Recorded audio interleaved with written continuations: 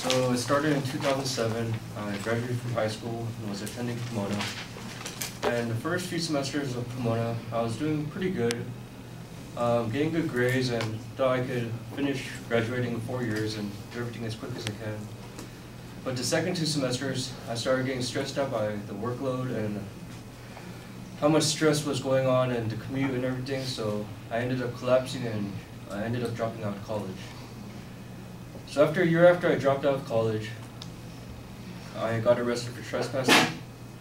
So because I got arrested, I was put in jail for three months. And um, after three months, they um, put me in a boarding home, like a, pretty much a halfway house. So I was there for two years, and um, the whole time I was I was just doing yard work and helping around the house and doing chores and things like that.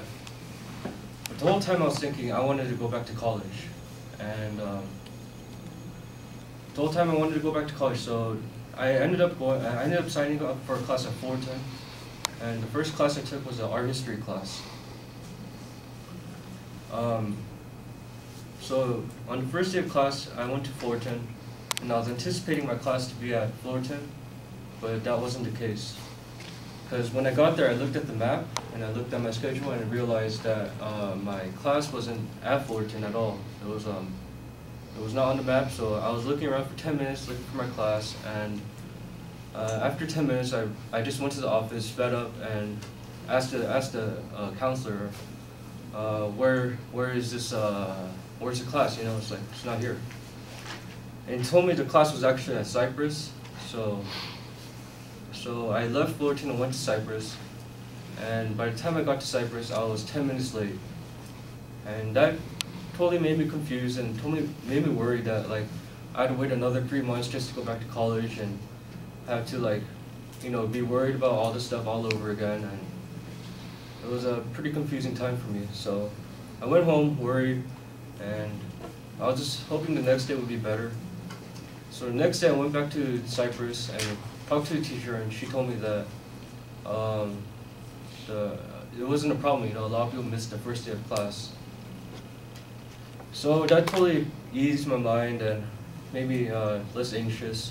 So I ended up taking the class for three months and got an A in the class.